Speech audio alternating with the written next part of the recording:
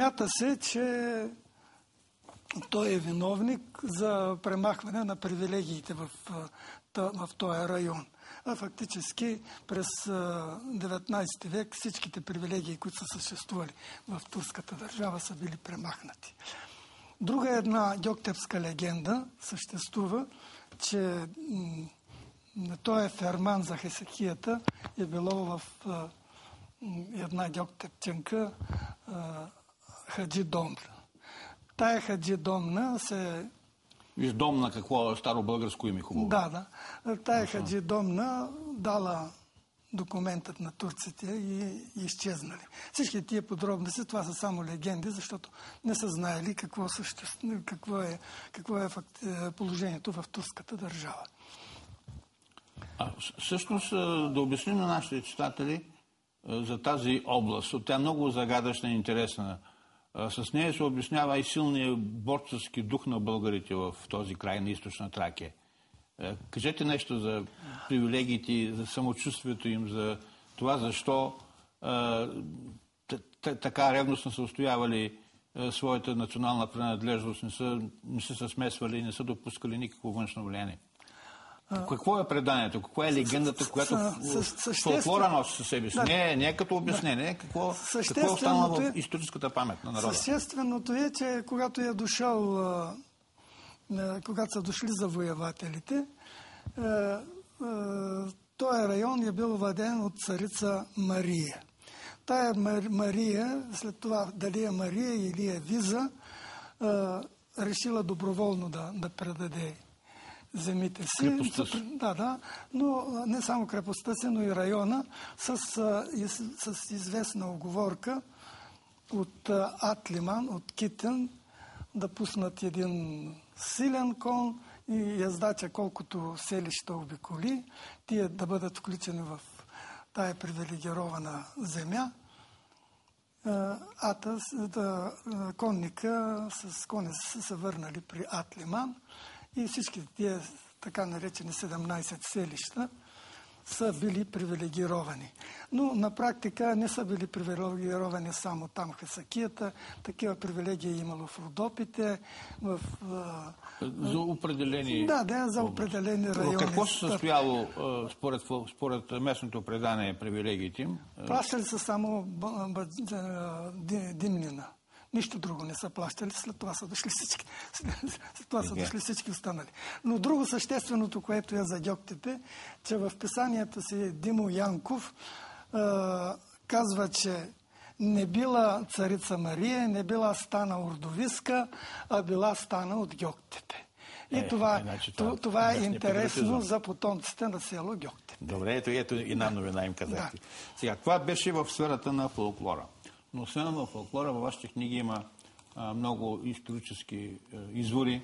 Там са цитирани документи, регистри, списъци, в които се изборяват имена на затворници Дярбекир, в Одринския затвор, Цареградския затвор и другите затвори.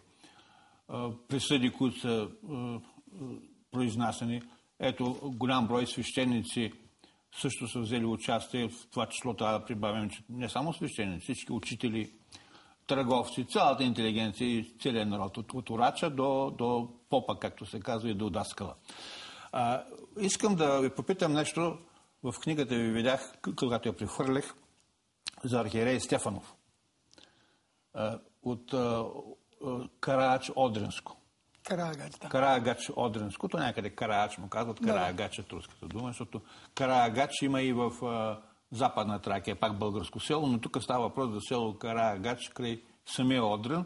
Доколкото знаем, сега е квартал на Одрин. Нали така беше? Сега да. е квартал на Одрин. Този човек е с а, а, една заближителна личност, която по ваша преценка, тъй както споменавате, е недооценен и неотбелязан и е дълг на нашето така съвременници да по някакъв начин да отбележат неговото име, да го обозначат. Имаме един зрител, нека да го чуем и след това ще продължим. Заповядайте, кажете откъде се обаждате и поставете въпроса си. Ало? Ало, да. Добър ден, господин Райчевски, Станимир Гелемачев. Добър ден. Изказвам благодарност от името на жителите на село Покрован за господин Панелок Мачаров, който пръв повдигна въпроса за забравените свещеници, участници в Илинденско преображенското възстание. Не е случайно неговата книга да положи душата си народа започва с отец Иван Бонев. Поклон, господин Панелок Маджаров. Така. Благодаря за вниманието. И аз ти благодаря. Благодаря. А, не само а, и, и, много други свещеници изброени. Така, продължете да за архиерей Стефанов, За който е също една забележителна личност. архи... архиерей Иван Георгиев Стефанов е потомък на българи от, казахме вече, от Карагач Одринско. Неговите предшественици в поредните, не мога да ви кажа в кои поредни изселвания, се са заселили в Бесарабия и даже и там съществува такова село Карагач. Явно, че не само той, аз на, насякъде изтъквам голямата природна интелигентност на, на българите от източна Тракия, но той и брат му Димитър са завършили най-напред българската Болградска гимназия. В Бисарабия, В- Болград, Болград. Да, да, в Бесарабия. Стефан, Иван Стефанов е завършил духовна академия в Киев. Коя година е дошъл, не мога да ви кажа, но явно чрез, след завършването на, на академията в Киев е дошъл в България. Служил е най-напред в... Там е имало параклис на местото на днешната а, руска църква, Свети Николай. София. Да, в София, Свети Николай Чудотворец. След това е служил в църквата Света Неделя. Жилището му е било на Иван Рилски, на Свети Иван Рилски, там зад а, булевард Христо Ботев. И това жилище е служило за убежище на основните ръководители на Илинденско-преображенското възстание, да изброявам имената Го- Гоце Делчев, Сандански, а, Даме Груев, Михаил Герджиков Ето, дейците, революционните де- дейци от Македония, Да. всъщност са, И Тракия. е, са гости, е, Са ползват и, да, да. и- като ятак един одрински българин. Отново се подчертава връзката между Македония, българите Македония и, Одрено, и, и, и Одринско и Тракия като е, един народ и движението им като едно общо българско движение. Извинявай за Да, да. прекъсването. Просто В- иска да обърна внимание да, на този факт. В, в същата квартира е бил и брат му, който е един от граничните представители на, на революционното движение, Димитър а, Георгиев Стефанов. Но в тая къща, ние изброихме вече имената, всяко идване в София са получа... там, там са квартирували. А освен това, отец Иван им е подсигурявал не само квартира, но им е подсигурявал и изхранването, докато са тук в София. Плюс това,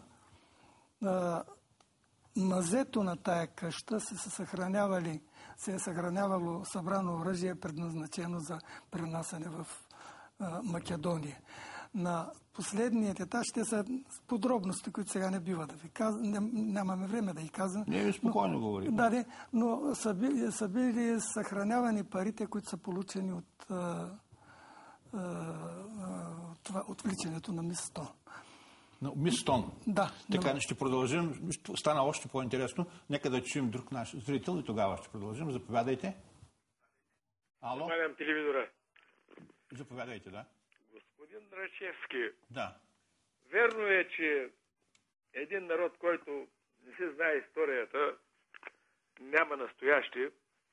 Обажда се един възрастен човек от Бургас, който е бил противник на 45 годишното социалистическо управление. Но в момента аз ви видях, когато сваляхме Жан Виден в Бургас. Нали идвахте тогава там? Да, да, да, да. А така, нищо не се говори за настоящето. Нищо не се говори. Верно, че има такива предавания на Стефан Солаков, на Велизар Янчев и т.н. Обаче за опасността от инвазията на Турция. Турция не... Това 133 годишно освобождение от турско робство за тях е един миг